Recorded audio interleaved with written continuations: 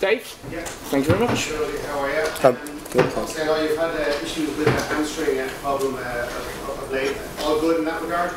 Yeah, very good. Um, it was a minor a minor issue. Um, I think it's just a bit of fluid on the hamstrings. I think it's just you know with the workload of you know games, you know Saturday, Tuesday, as you know. Um, I think just uh, slight fatigue, and you know with rest, I'm, I'm back and firing again. And obviously hoping to be back in the starting 11 on Thursday night. Yeah, fingers crossed. Um, I think you know the boys have been doing well, um, but yeah, I'm hoping to contribute in any way possible. You know, obviously, um, every game is a, a big game, and this will be this will be our final test before um, the Euros qualif- qualifiers um, for Germany, and uh, I want to be involved. Yes. Just on that, I mean, how important is it to go into those qualifiers on the back of you know two positive results and two positive performances this week? I think it's very important. I think um, you know for us, we don't see these friendlies as friendlies. We you know the, we see these, with these games as an opportunity to to get our tactics right, especially when we go into you know the, the big the big test come March, and you know we want to win this game and we want to win it the way you know playing the football that we want to play, and um, that's that's the main focus really. We're, we're going to take these two games very seriously. I'm sure everyone is very focused for these games, and I can see from training everyone's fighting to be involved. I know it's a long, long way off, but the uh, cabinet place signed off on a, joint bid to stage uh, Euro 2028. Uh, obviously, uh, in Ireland, I mean, to play in a tournament, uh, tournament like that on home soil. I know it's a long way off, but what would that mean to you? Uh, mean a lot. I think it would mean a lot for the nation. I think um, you know, be a dream come true really to play in, in a big competition like that. And you know, we hopefully, hopefully, we um, our voices will be heard in that in that manner. But you know, it mean a lot for for me uh, especially. Um, you know, we're all trying to qualify no matter what, and it won't take away uh, moving forward. We're gonna, you know. Give our all for, for March time to try to qualify for for another big competition in Germany, but you know to have it in home soil will be very special. Dave, please. So normally maybe friendlies at this time of year, some players might not be too tuned in for it, but for yourself as well, just in terms of actually nailing down a starting spot, maybe show as well, Gardner and Michael up front that you've actually got a bit further on to not so much prove, but show what you can do. Yeah, I've, you know, from the first day I've been here, I've, you know, I've always said how privileged I am to be in this position, and you know, many players miss out, and I'm here, so we're all working so hard to be where we are today, and um, you never take this position for granted because I've seen players come here and you know not come back again. So you know, to be called upon is um, is obviously a huge honour for me, and I take I take it serious every time I'm here, and that's why I work really hard, you know, to get my hamstring right, to, to hopefully get an opportunity against Norway or Malta. You know, these caps mean a lot to me and my family, and you know, you know, we all want to be here, and you know, training, especially today, showed me how much players will put their bodies on the line to, to, to, to be here and you know, to be available. Would that be in your mind in terms of that you've made impacts, starting scoring goals, and also off the bench, but other players maybe international football, yeah, international football is ne- you know nothing's nothing's given um, given easily, and you never take anything for granted.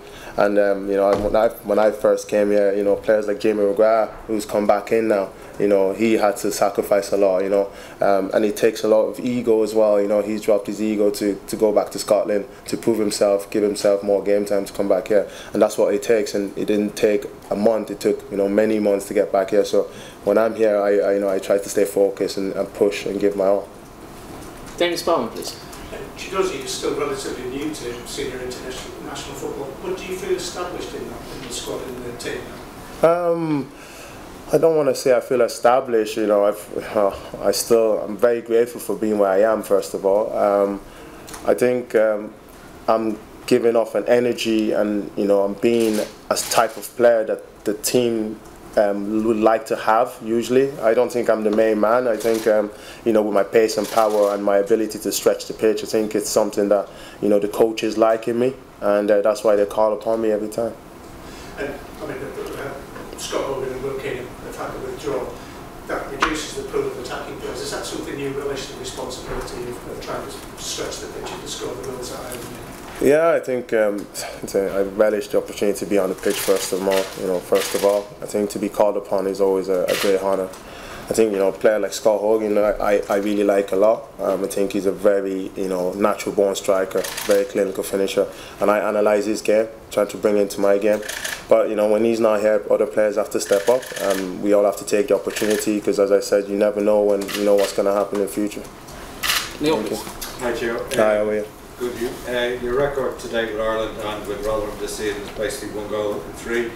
Is that sort of something you think you can maintain or improve if you're if you're played central centrally over a period of time? I think it's something I really want to improve on. I think um, I looked at my stats and I don't I don't take enough shots per game, and um, you know maybe it's the style of play at, at Rotherham, but I want to improve that. And um, you know, I'm sure you'd be you would prefer me scoring you know two every every game, wouldn't you? So you know, as a striker, you wanna you wanna score more goals. You want to contribute to the team, even if assist or you know just be part of the you know build up and um, just to be effective for the team.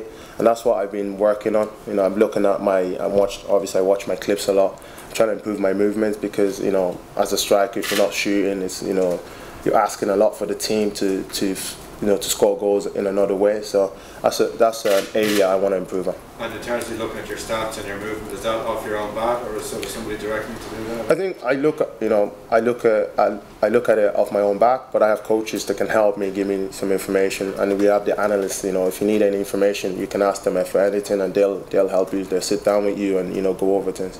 And how's is that how Evan was settled in this week? Sorry. How Evan Ferguson was settled in? Evan's doing very well. You know, I never realised how big it was actually when you see him in person. He's a big lad, you know, he's eager and he's um, very physical and he works really hard. So I'm hoping for for great things for him.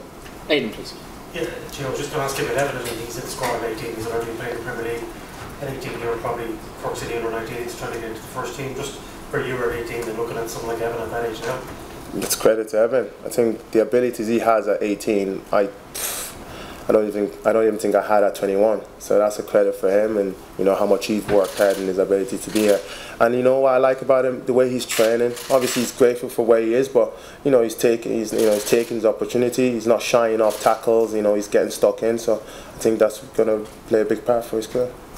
On what's coming up over the next month, obviously you have a break. Just talk us through like what what the plan is. You a week or two weeks off, or what's the? So yeah, um, next week I'll have you know some downtime with my family. Um, so you know the managers have you know given me the permission to, to have a couple of days off, which I will take, and I'll go to I'll go to Paris with my girlfriend and enjoy some time there. Will you, like a lot of talk with the around the game, a lot of ex-players saying they're not going to watch because of we know it's kind of Qatar. Will you watch or do you do a part of that conflict as well? I, listen, I, I love watching football. I will, you know, I will watch the football um, regardless of what happens. You know, I love to watch football because you can always learn from, you know, big nations, and you know, we want to be in that position come, you know, in a few years' time. So you need to watch what it takes to get there. Um, listen, I'm not a politician. I'm a footballer. Um, I, s- I just enjoy watching the game. John, please. Gio, um, we're eight and a half minutes in, haven't asked you a transfer speculation uh, for a change. um, but just has that, has that helped you in a way in terms of that was shut down fairly early in terms of signing the contract? So what do you mean by that? It's like it, it, the, there's not that much speculation about you move, whereas previously in previous windows, Swansea and all you spoke about, you started committing for the year to Rotherham. Has that helped you in terms of your own stability? Um, I think I was always focused from day one. Um, I was, uh, you know, I was working with the club to make sure that we find a middle ground, and you know, they made it clear to me that they wanted me to stay, and I, you know, from day one, I, you know, I had my focus on Rotherham, and I think that's probably why, you know, I've started really well. You know, they give me the opportunity to play up top and change me from right wing back to a striker. So, um, no, I, you know, obviously there isn't much um, information in, you know, all the speculations and in the transfer window, but I, I was always focused from day one. And just secondly, uh, I know mentioned earlier, Paul O'Brien last night, uh, leather caps. I think you were born just after he finished with Ireland. Yeah. Growing up, you know, he was a real symbol for diversity and that was he someone that you took inspiration from? I think he's someone I, I read about. Um, you know, Paul is you know is a fantastic player, and credit to him to come out to come out and you know have that speech that he gave yesterday, and you get to know him more um, after meeting him yesterday. And I think you know he's a role model for everyone. I think he was a big role model for Keith Andrews. You know, I was I don't think I was born yet, or maybe I was over one. But when you read it, you read about his story. and When you sit there and listen to him, it's it's a credit what he's done. Paul, please. Josie, how are you? Just wondering, your club manager has made a, a couple of comments about the League of Ireland. Did you, did you have a look to discussion with him? I didn't- did you make of it? I didn't really, I didn't read into that. I, I spoke to Georgie Kelly and he gave me a quick debrief. I think, um, I think it's been, you know, um, taken out of context a bit. I think what he meant to say, you know, was, um, you know, he didn't, he didn't want to push Georgie too, too soon. And um, you know, it's obviously I know how the media can be turn things around, but I know he, I spoke to Georgie and Georgie didn't take it to heart. I think he, he was just trying to be as respectful as possible. But I know how fans can be in, in what they've said. And finally, Philip. Yeah, yeah, sorry, Kieran, yeah. Uh, so, how would you sum up the Irish international year? Um, been on personal, you know, my personal point of view. I think it's been good. Um, you know, we're obviously disappointed that we, you know, we couldn't finish second in the table to give us that playoff spot. But um, you know, I think overall there's a lot of been improvements since I've been here. Anyway, I think um, so many players have come in, and then when you see players come in, you know, we're not we're not on on different wavelengths. We're all on the same wavelength and that's what we you know from day one when I came here I could see what you know the gaffer wanted to implement in the team. And I think when new players come in everyone buys into the culture and the style. And obviously we have you know players like Seamus Coleman who make sure that we're all focused throughout. So I think it's really good. And I think the improvement in the last year especially from June last year when I came to now is you know there's a big step. And I think um, I think we've evolved really well. Are you excited about Euro qualifiers? I'm very excited. Yes, I don't think I know. I'm not very fearful with the with the nations we've um, we've put, put against, but uh, I think it will be a great test for us. I think uh, you know, as young players, we all dream to play these kind of nations, and you know, if we can if we can test ourselves, we know where we stand. Thank you very much, guys. Thank you, guys. Thank you.